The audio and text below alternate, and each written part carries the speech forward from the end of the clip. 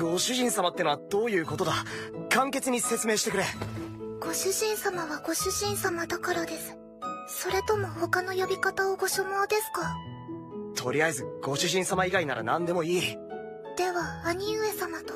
ダメだ。パパ。もっとダメだ。お兄ちゃん。ダメだ。今一瞬それもいいなと思いましたね。俺が悪かった神とだ。神とって呼んでくれ。